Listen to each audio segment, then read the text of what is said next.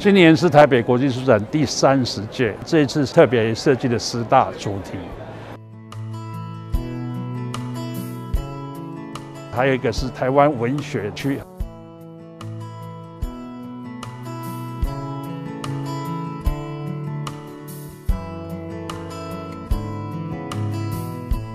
公民书记最主要是，呃，奖励鼓励那些独立出版社。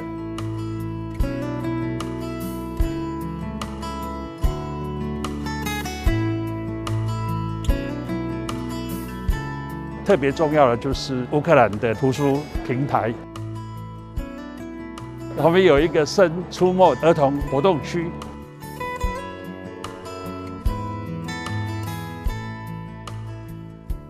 最亮眼就是主题国，那就是法国。Bonjour, bienvenue au pavillon français. Je vais vous présenter notre pavillon de cette année. Nous commençons sur les pépites internationales, Guoti Xiaotingkuai. Donc c'est le meilleur de la production jeunesse en France, sélectionné par le Salon de la presse et du livre jeunesse de Montreuil et l'Institut français. Nous arrivons ainsi dans la partie principale, la partie librairie qui est tenue par la librairie française Le Pigeonnier, où vous trouvez toute l'actualité éditoriale française avec plus de 2000 titres envoyés par les éditeurs français. Par exemple, l'art, Yishu, Wenshui, Dongshu, Manhua. Et enfin, nous vous présentons une très belle exposition, Emmanuel Lepage, qui a parcouru les océans qui a parcouru la Terre entière pour nous offrir des peintures, des pastels, des crayonnages de ses voyages. Nous sommes très heureux de vous le présenter aujourd'hui.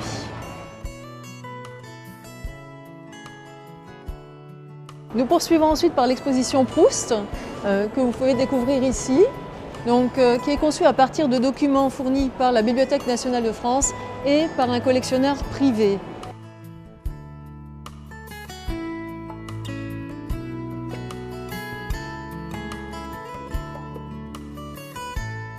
Donc quelques pièces exceptionnelles, mais aussi vous trouverez ici un parcours sonore que vous découvrez ici. C'est assez nouveau. C'est La recherche du temps perdu, lu par des grands acteurs français et taïwanais. 有好一段时间，我早早就上床。有时候蜡烛才熄，眼睛立刻闭上，快的根本来不及跟自己说“我睡了”。半小时后才想到该睡觉了。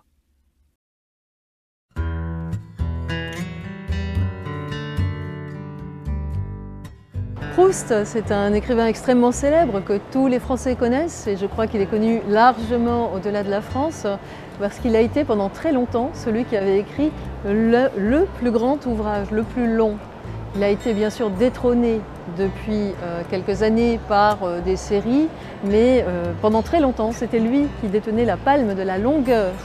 Il est donc très connu pour ça. On le connaît également pour la Madeleine, n'est-ce pas? Tout le monde connaît l'épisode de la Madeleine, par exemple. La recherche du temps perdu, c'est sept volumes, sept volumes dont les trois derniers ont été publiés à titre posthume. Et Proust a mis 14 ans à créer cette œuvre. Pourquoi il a mis autant de temps Eh bien, regardez simplement ces manuscrits. C'est un peu ce qu'on a voulu montrer aussi dans cette exposition que nous avons réalisée grâce à la Bibliothèque nationale française. C'est tout ce travail de bifure, de rature, de réécriture et toute cette chose assez fameuse que l'on appelle les paperoles. Ce sont des petits morceaux collés sur les manuscrits où Proust va corriger son texte initial. Il en a rajouté énormément et donc il est vraiment connu pour ça. Et la plus grande paperole, eh bien, elle fait 1,60 m de long. Il y a des documents de la BNF, mais il y a aussi des documents que nous avons pu recueillir grâce à un collectionneur privé. Et ce sont des, des documents très très rares. Par exemple, les derniers mots de Proust.